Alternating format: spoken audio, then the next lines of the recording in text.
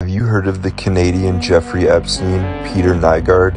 This guy's story is actually much darker and much more insane than Epstein's.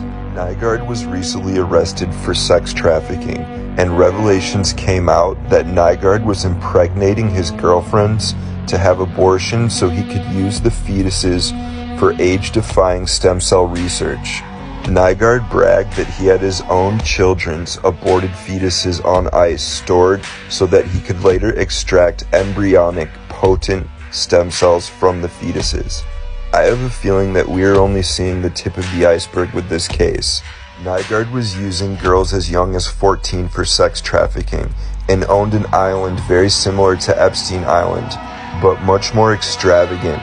The island features a dungeon and a Mayan human sacrifice pyramid. The rich have gone completely insane, y'all.